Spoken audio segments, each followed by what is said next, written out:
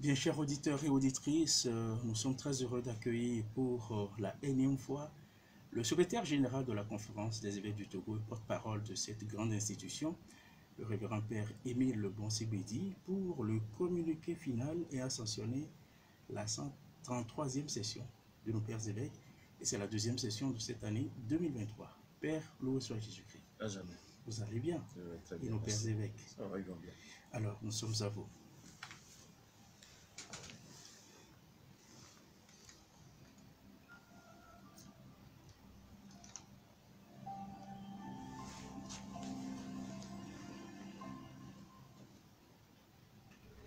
133e session ordinaire de la conférence des évêques du Togo, CET, communiqué de presse.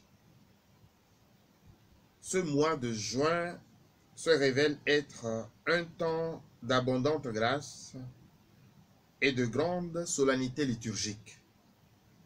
Ainsi, après avoir célébré la Pentecôte le 28 mai et clôturé le mois de Marie, avec la prière en appui de la préparation du prochain synode des évêques, nous avons la célébration durant ce mois de la solennité de la Sainte Trinité, du très saint sacrement du corps et du sang du Christ, du Sacré-Cœur, du cœur immaculé de Marie, de la Nativité de Saint Jean-Baptiste, et de la solennité des Saints Pierre et Paul, colonnes de l'Église.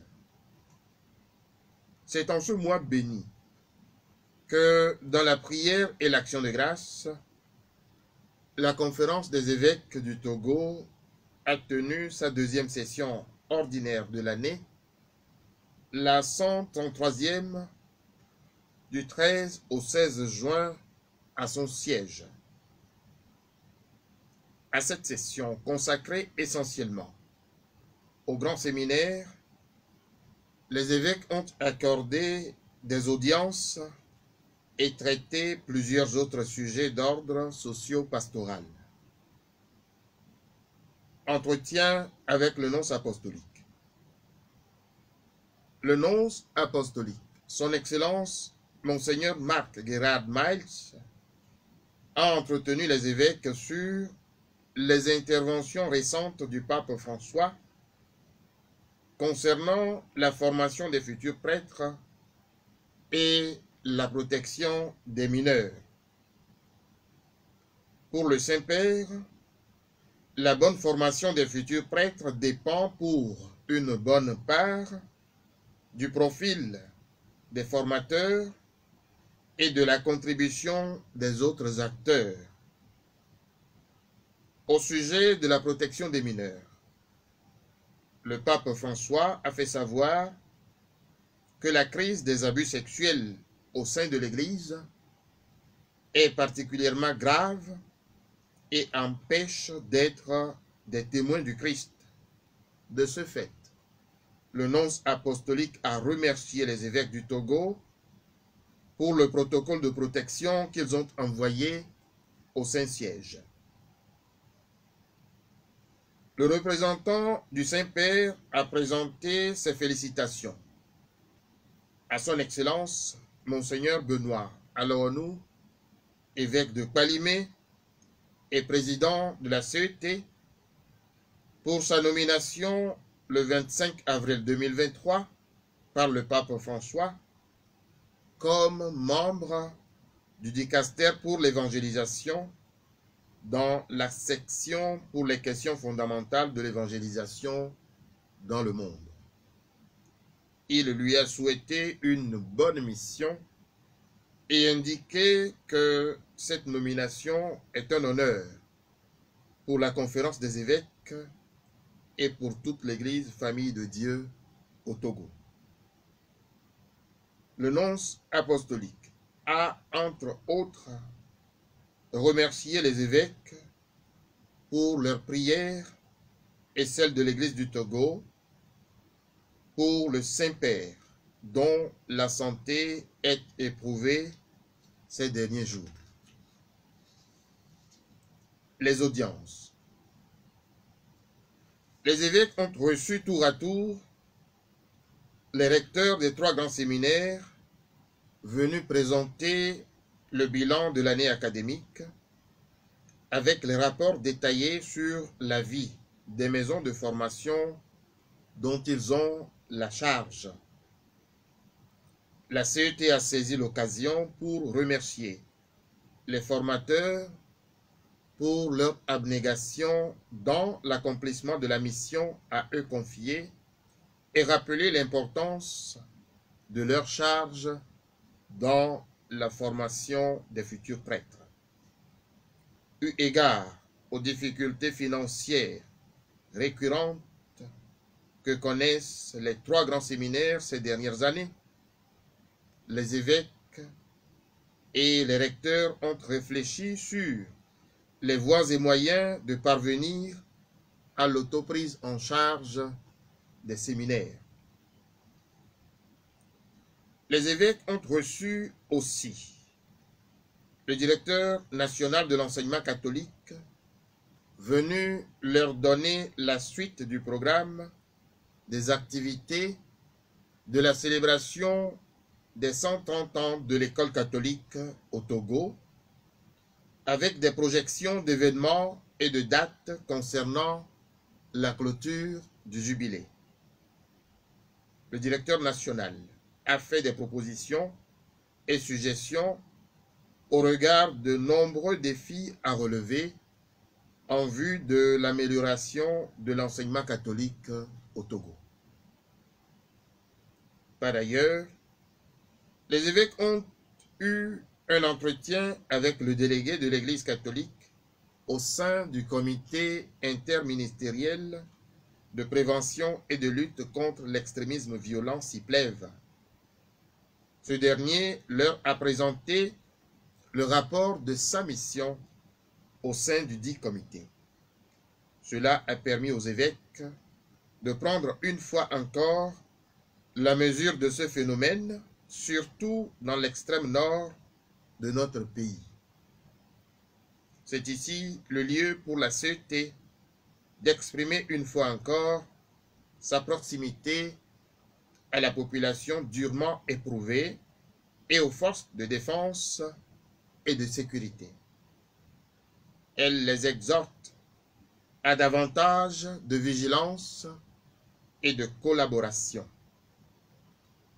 tout en félicitant les autorités pour leurs efforts dans la lutte contre l'extrémisme violent les évêques les prient à nouveau de prendre les dispositions idoines en vue d'endiguer la précarité des populations rendues vulnérables par la situation.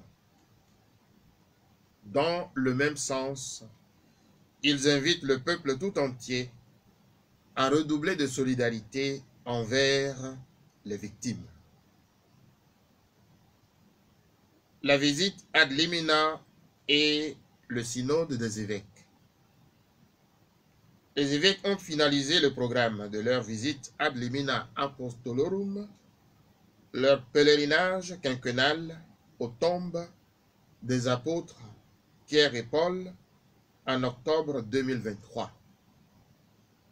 Ils ont également précisé les contours de la participation de l'évêque délégué aux travaux du prochain synode des évêques prévu pour le même mois.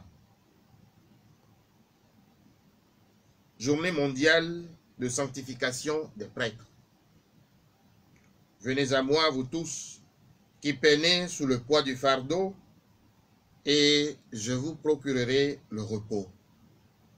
Prenez sur vous mon joug, car je suis doux et humble de cœur, confère Matthieu 11, 28 et 29. Cet appel apaisant lancé par Jésus à ses disciples résonne au plus fort ce vendredi 16 juin 2023 où l'Église universelle célèbre la solennité du Sacré-Cœur de Jésus et la journée mondiale de prière pour la sanctification des prêtres instituée par le Saint-Pape Jean-Paul II depuis 1995. Les évêques ont saisi l'occasion pour vivre cette journée de méditation et de prière avec les prêtres du doyenné Nord 1, Kegranawe de l'archidiocèse de Lomé, dans la communauté des frères de l'ordre de Saint-Augustin.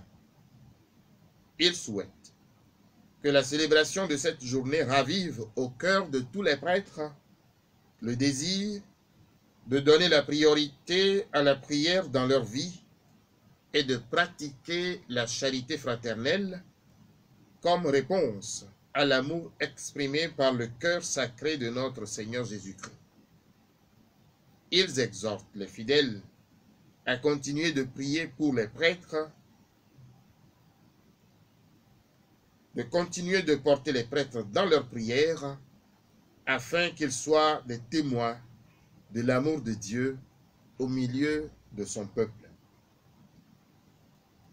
Exhortation à créer un bon climat en vue des élections. Le recensement qui vient d'être effectué lance notre pays vers les prochaines échéances électorales. Les évêques exhortent les uns et les autres à prendre les dispositions conséquentes en vue de garantir un climat apaisé. À cet effet, il lance un appel aux autorités de garder en ligne de mire le respect des libertés de tous ordres. Il formule un plaidoyer auprès du gouvernement pour la libération des prisonniers politiques En ce mois de juin dédié au cœur sacré de Jésus, les évêques implorent sur chaque Togolais et chaque Togolaise la grâce d'un cœur semblable à ce cœur du Christ, brûlant d'amour pour l'humanité. Il confie au Seigneur le souverain pontife François afin qu'il lui accorde un prompt rétablissement pour la suite de sa mission. Fait à Lomé ce 16 juin 2023, a signé le secrétaire général et porte-parole de la CET, Père Émile Seguedi.